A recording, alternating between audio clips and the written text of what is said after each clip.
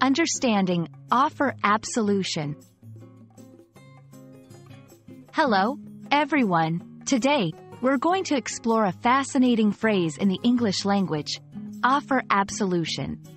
This phrase might sound formal, but it carries a powerful and emotional meaning. Stay tuned as we delve into its significance and how it's used in conversations and writing.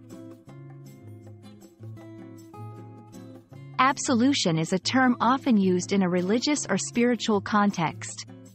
It refers to the act of being freed from guilt, blame, or sin.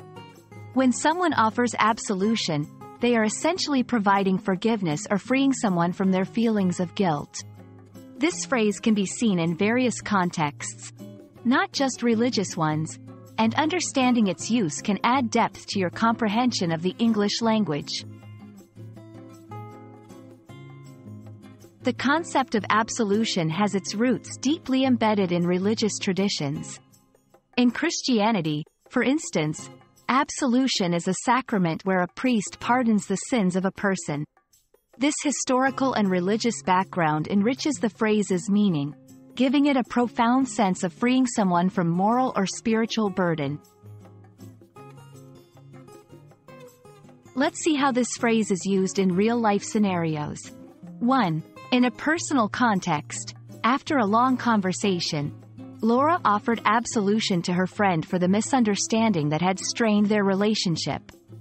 2. In a literary context, the protagonist sought to offer absolution to his comrade, erasing the guilt that had haunted him for years. Understanding how to use this phrase in various contexts can enhance your English speaking and writing skills, making your communication more nuanced and meaningful. We hope this exploration of the phrase, offer absolution, has been enlightening. It's more than just a phrase, it embodies forgiveness, release from guilt, and peace.